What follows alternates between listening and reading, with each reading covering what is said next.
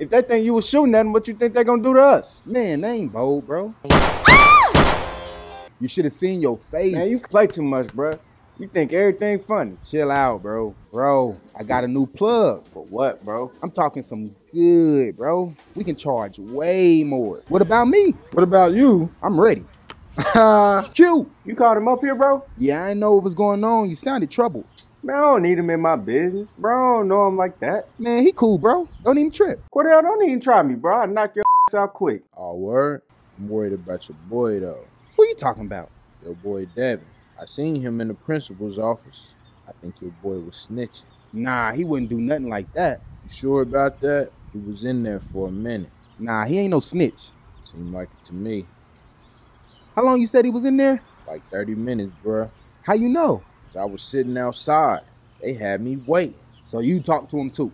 Yeah, bro. But you know I got you. I'm not the one you should be questioning.